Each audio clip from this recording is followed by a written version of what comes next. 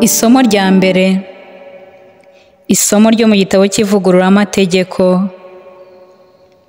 Musa abwira Abayisiraheli ati uhoraho Imana yawe azitorera umuhanuzi umeze nkanjye ukomoka muri mwe mu bavandimwe bawe azabe ari we mwumva. Ni na cyo wasabye uhoraho Imana yawe kuri Horebu kuri wa munsi w'ikoraniro igihe wavugaga uti sinshaka gukomeza kumva ijwi ry'uhoraho Imana yanjye sinshaka gukomeza kubona uwo muriro mwinshi kugira ngo ntapfa. Nibwo uhoraho yambwiraga ati bagize neza kuba bavuze batyo. Nzababonera umuhanuzi umeze nka we ukomoka mu bavandimwe babo nzashyira amagambo yanjye mu kanwa ke ajya ababwira ibyo mubwirije byose. Kandi umuntu utazumva amagambo yanjye ay'uwo muhanuzi nyine azavuga mu izina ryanjye nzabimuryoza ubwanjye.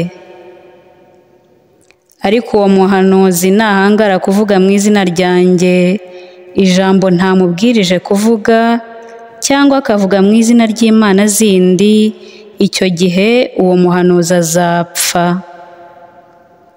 Iryo ni ijambo ry'imana. Dushimiye imana. Isomo rya kabiri. Isomo ryo mu ibaruwa ya mbere mutagatifu paul intumwa yandikiye abanyakorinti.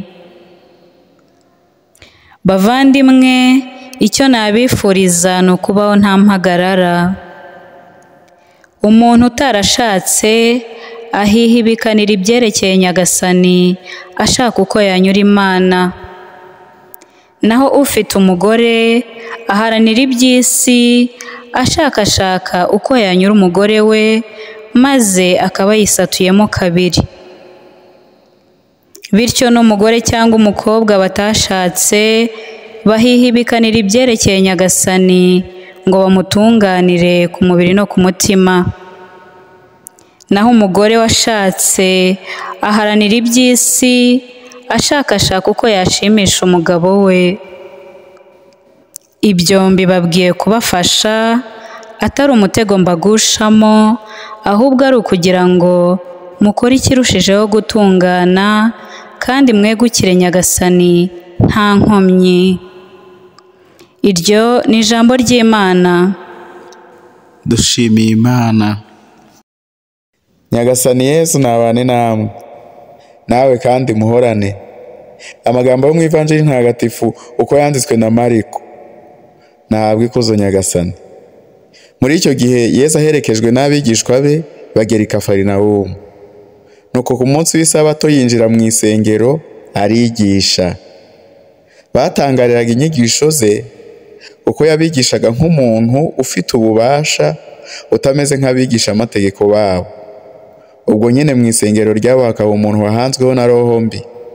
Nuko itera hejuru ituradushakaho iki yezu w'i nazareti? Waje kuturimbura? Nzu we uri intungane y'imana. Yesu ayibwira yikankara ati ceceka kandi uve muri uwo muntu.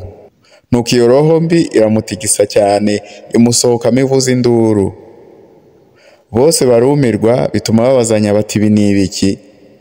Mbega inyigisho nshya itanganye ubuhanga. Arategekana roho mbi zikamwumvira. Nuko bidatinze iyo nkuru ikwira intara yose ya galileya. Iyo ni ivanjiri ntagatifu. Uragasingizwa kirisito ku muntu ushaka gukorera imana ese icyiza ni ugushaka cyangwa ni ukudashaka? Amasomo y'umunsi araduha igisubizo. Kudashaka bituma umuntu ashobora gukorera imana afite umutima utagabanyijemo ibice. Ibi ariko ntibivuze ko abashatse badashobora gukorera imana. Nabo birashoboka ariko ni ku kigero runaka nk'uko paul yabitubwiraga mu isomo rya mbere.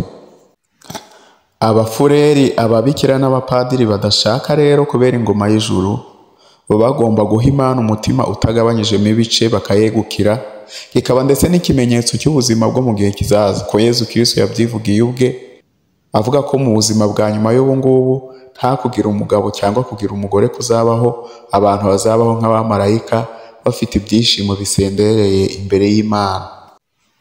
Rwa rukundo rutageruka rwaka mu mutima kugera aho umuntu yumva akunze imana atareba kugeza ubwo yayiha akabaho mu buzima bwe bwose atarashatse rugenda rucogora. Akenshi biterwa n'isi ikuririza ubwiza bw'umubiri ndetse n'imibereho y'abashakanye kurusha iyo kuba umuntu yakwiyegurira imana. Dusabire rero abihaye imana kugira ngo barusheho kuba benshi dusabire ababyeyi kugira ngo batoze abana babo gukunda imana kuruta byose no kuyishakashaka n'umutima utaryarya kandi dusabire abihaye imana babirimo kugira ngo bakomeye kuwo bihaye batica amasezerano bagiranye nawe nyagasani yezu inama